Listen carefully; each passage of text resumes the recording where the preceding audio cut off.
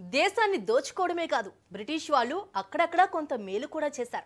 అయితే ఆ మేలు కూడా వాళ్ళ అవసరాల కోసం చేసిన పనులతోనే జరిగింది. అలాంటిదే ఆశ్చర్యకరమైన కట్టడం కడప జిల్లాలో బయటపడింది.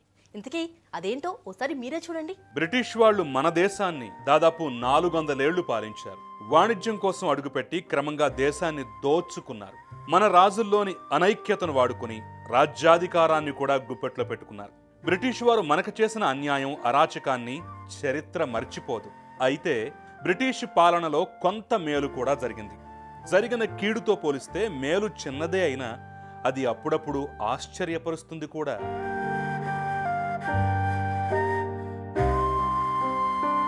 కడప జిల్లాలో అలాంటి విశేషమే ఒకటి వెలుగులోకి వచ్చింది బ్రిటిష్ కాలం నాటి భూగర్భ జలాశయం బయటపడింది. ఓ పర్యాటకుడు గుర్తించిన భూగర్భ జలాశయం అందరినీ ఆశ్చర్యపరుస్తోంది. తొలుత దీన్ని ఓ భూగర్భంలో ఉన్న రహస్య కారాగారం అనుకున్నారు.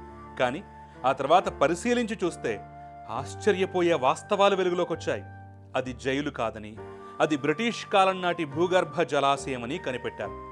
ఈ భూగర్భ కట్టడంలో శిలాఫలకాలతో ఈ విషయాన్ని నిర్ధారించారు.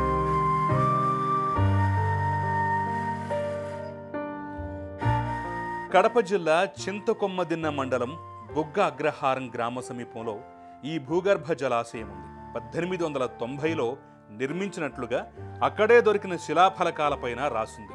బ్రిటిష్ వారే దీన్ని నిర్మించినట్లుగా అక్కడి శిలాఫలకం సాక్ష్యం చెప్తోంది. ఆ జలాశయాన్ని తాగునీటి అవసరాల కోసం వాడుకునేవారని చరిత్రకారులు చెప్తున్నారు. ఈ జలాశయంలో నీటిని నిల్వ చేసుకుని అవసరమైనప్పుడు కాల్వల ద్వారా నీటిని కడపకు తీసుకువెళ్ళేవారని చెప్తున్నారు. ఈ జలాశయం నిర్మాణంలో కూడా ప్రత్యేకత ఉంది. నిర్మాణంలో బ్రిటిష్ వారు కేవలం సున్నం గచ్చు మాత్రమే ఉపయోగించారు. అప్పట్లో సిమెంటు ఉన్నా దాన్ని వాడలేదు.